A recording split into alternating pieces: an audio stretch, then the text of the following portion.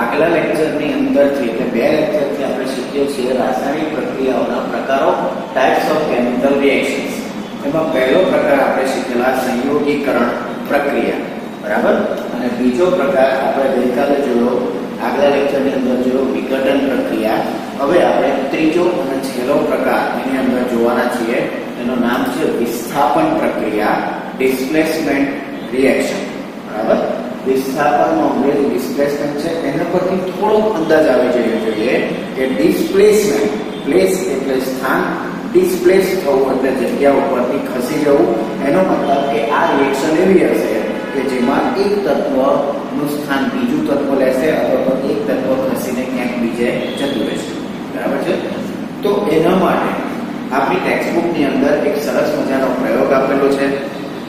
લોખંડની ચડકાટ ધરાવતી બે નવી કટાઈ ગયેલી ખીલી નહીં, પણ બે નવી ખીલીઓ લેવાની. એક ટેસ્ટ અંદર, ધારો કે આ ટેસ્ટ છે, તો એમાં લોખંડની ખીલીને ઓછીમાંથી દોરો બાંધી અને નીચે ઉતારી દેવાની. વીસ મિનિટ સુધી એ કોપર સલ્ફેટના દ્રાવણમાં. કયું દ્રાવણ લેવાનું છે? Copper sulphate. હવે લોખંડની ખીલી એટલે તો એફી થાય લોખંડ આયર્નનું સૂત્ર એફી થાય એટલે એફીની રિએક્શન આપણે કરાવીએ છીએ કોપર સલ્ફેટ સાથે. હવે કોપર સલ્ફેટ રંગ કેવો? તો કે આ છો ભૂરો આપણને નવમાં પણ આવેલું અને આગળ પણ આ ચેપ્ટરમાં આવ્યું છે. સીવીએસ ઓફોનો કલર આછો ભૂરો હોય અને એમાં આપણે લોખંડની કીલી એડ કરવાની છે. વીસ મિનિટ સુધી આ ટેસ્ટ ટ્યુબની અંદર લોખંડની કીલી રાખ્યા બાદ એને બહાર કાઢવાની છે અને બહાર કાઢીને એને જે બીજી નવી ખીલી હોય એની સાથે સેવ ખમણી કરવાની છે સરખાવાની છે. તો ધ્યાનથી આપણને શું દેખાય? તો કે જે લોખંડની ખીલી CuSO4 માં ઉતારેલી હતી, એની ઉપર લાલ કલરના ટપકા જેવા ધાબા પડી ગયેલા જોવા મળે. લાલ કલરના ટપકા જેવા ધાબા છૂટા પડેલા જોવા મળે.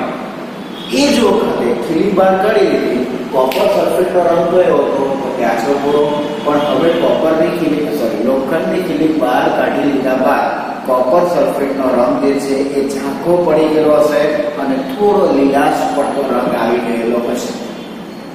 એનો મતલબ કે એફિડની પ્રક્રિયા CuSO4 સાથે થઈ અને કંઈક નવું રિએક્શન આપણને મળ્યું. દેટ ઇઝ કોલ્ડ વિસ્થાપન પ્રક્રિયા, એટલે કે ડિસ્પ્લેસમેન્ટ રિએક્શન એનું સમીકરણ જોવાનો પ્રયત્ન કરીએ આપણે શું કીધું? તો કે દ્રાવણ લેવાનું. કોનું દ્રાવણ તો કે ભાઈ CuSO4 નું દ્રાવણ એટલે form એની અંદર આપણે એડ કરીશું લોખંડની ખીલી ખીલી તો સોલિડ ફોર્મમાં જોઈએ એટલે Fe સોલિડ વત્તા CuSO4 aqueous ક્યુબ્સ હવે આ ઇમ્પોર્ટન્ટ છે હવે જ્યારે ક્યુબ્સ થાય છે એમાંથી પ્રક્રિયા થાય છે ત્યારે Fe જે છે એ CO નું સ્થાન લેશે અને દ્રાવણ બનાવશે FeSO4 નું અને કોપર ને લાટ મારીને કાઢશે એનો મતલબ કે Fe એ સ્થાન લીધું. Fe એ સ્થાન લીધું. એટલે CO સ્થાન શું થયું? વિસ્થાપિત થઈ ગયું કહેવાય. એટલે કોપર આપણને મળે ખરો, પણ છૂટો પડેલો મળે અને FeS નું સ્થાન લીધેલું હોય. હવે એકદમ કલર લખવાનો પ્રયત્ન તો હમણાં જ આપણે ચર્ચા કરી સીયુએસઓ ફોરનો રંગ કયો હોય? તો કે આછો ભૂરો એમાંથી જ્યારે FeSO4 બને છે, અને કોપર જે છે એ મેં તમને કીધું કે લોખંડની ખીલી પર લાલ ટપકા સ્વરૂપે જોવા મળશે. તમારી ટેક્સ્ટબુકની અંદર બી આ વિગત લખી દેજો, મેં ઇક્વેશન લખેલું હશે ત્યાં પણ ટેક્સ્ટબુક જોતા મને જોયા પછી ધ્યાનથી ફરી પાછો એક વાર વીડિયો ચલાવી અને ટેક્સ્ટબુકની અંદર જે કંઈ ટીક માર્ક કરવાનું છે તમે ટીક કરી લેશું. પણ અત્યારે આપણે અહીંયા ધ્યાન આપીશું. સીધું કયા સ્વરૂપે? લોખંડની ખીલી ઉપર, લાલ ટપકા સ્વરૂપે આપણને બાજેલું જોવા મળે. અને FeSO4 ફોરનું જે દ્રાવણ બને ને, એ એકદમ આછો લીલો રંગ બને. FeSO4 ના દ્રાવણનો રંગ ખૂબ આછો લીલો.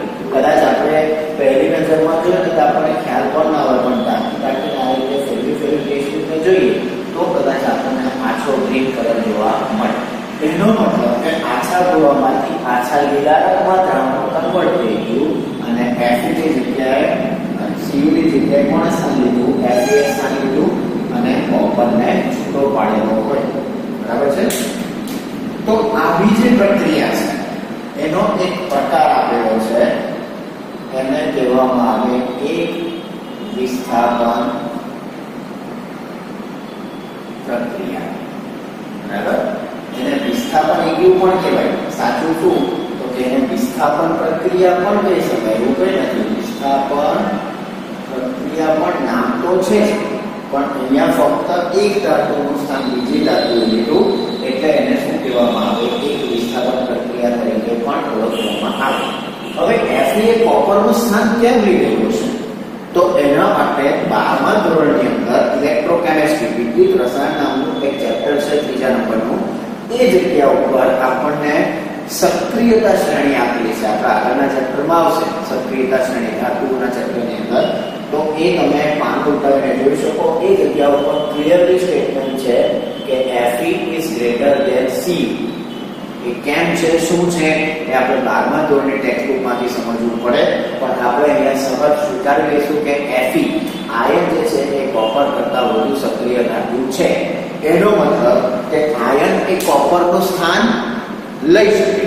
આપણે એક સિમ્પલ વિચાર કરીએ કે આપણે જો એક પતલો કિલો માણસ ઉભેલો છે, આપણે નવમાં એવું ઉદાહરણ શીખેલા અને સામેથી ખલી માણસ દોડતો દોડતો આવે, આપણને ધક્કો મારે તો ખલી આપણને લાટ મારે, તો આપણે ખસી જઈએ.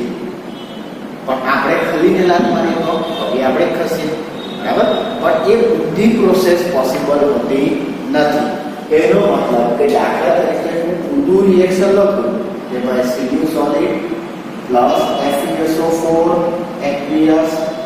gives CuSO4 aqueous plus Fe solid તો આ રિએક્શન ઇક્વેશન કોઈ દિવસ પોસિબલ થાય નહીં શા માટે કારણ કે કોપર તો Fe કરતા ઓછી સક્રિય ધાતુ છે પણ કેવી છે Fe કરતા ઓછી સક્રિય ધાતુ છે એટલે કોપર Fe નું સ્થાન લઈ શકીએ નહીં હંમેશા વધુ સક્રિય ધાતુ જ ઓછી સક્રિય ધાતુઓનું સ્થાન લઈ શકે બરાબર તો મારે આ વિસ્થાપન પ્રક્રિયાની વ્યાખ્યા કેવી હોય તો શું કહી શકાય આ એક વિસ્થાપન પ્રક્રિયા તો વિસ્થાપન પ્રક્રિયાની વ્યાખ્યા કેવી હોય તો કંઈક આ રીતે લખી શકાય પરફેક્ટલી બુકની અંદર વાક્ય મળશે પણ હું આપણે સાદી ભાષામાં લખું છું કે એવી રાસાયણિક પ્રક્રિયા પ્રક્રિયાઓ કે જેમાં ઓછી સક્રિય ધાતુનો સ્થાન એક વધુ સક્રિય ધાતુ લે તો તેને એક વિસ્થાપન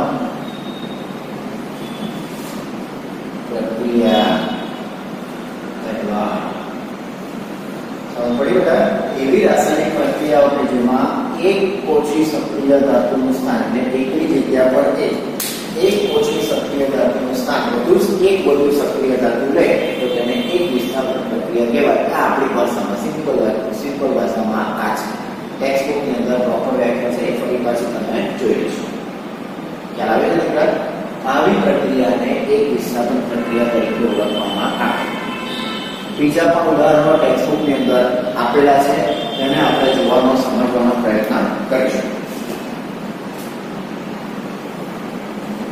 અને હું લઉં છું બરાબર? એના જેવું જ બીજું ઉદાહરણ આપણે લઈએ, તો આ પહેલો નંબર આપણું આ બીજો ફરી પાછું કોપર સલ્ફેટનું જ દ્રાવણ આવ્યું છે.